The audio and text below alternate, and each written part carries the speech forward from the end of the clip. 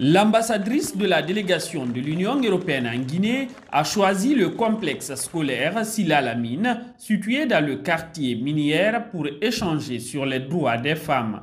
Jolita Ponce voulait effectuer cette visite le 8 mars dernier à l'occasion de la célébration de la journée mondiale dédiée aux droits des femmes.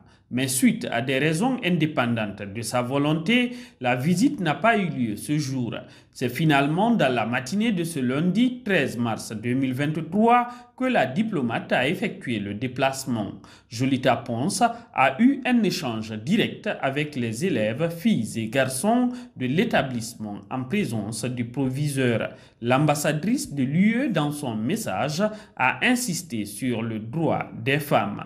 Euh, mon message principal est justement insister et faire prévaloir les droits humains qui s'appliquent absolument également aux hommes et femmes.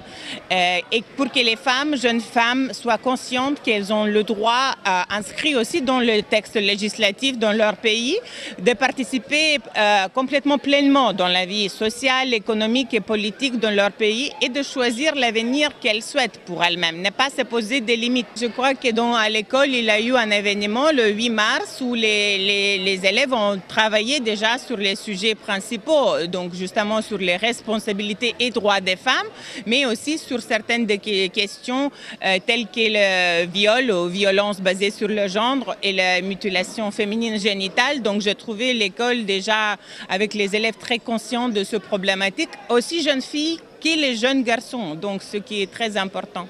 Le proviseur du lycée Silla Lamine, Aboubakar Kamara, s'est réjoui de cette visite de l'ambassadrice de la délégation de l'Union européenne dans son établissement.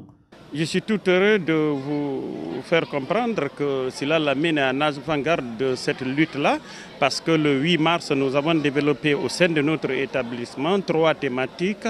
Euh, la première thématique portait sur le viol, la deuxième thématique portait sur les mutilations génitales féminines et la troisième thématique euh, portait essentiellement sur euh, la responsabilité des femmes. Et à travers ces thématiques-là, les élèves se sont montrés très pour cette lutte-là et nous sommes sortis très satisfaits de leur engagement à eux, mais aussi engagement aussi eh, des garçons et des filles pour la préservation des droits des femmes. Beverly Gomez, élève en classe de terminale, a suivi avec beaucoup d'intérêt le message de Jolita Ponce à l'endroit des élèves du complexe scolaire Silla Lamine. Elle se dit très motivée avec le discours qu'elle a entendu. Autrefois, je me disais, comme moi, je suis plutôt intéressée par la médecine, je me disais difficile de faire un équilibre entre la vie familiale et la vie professionnelle.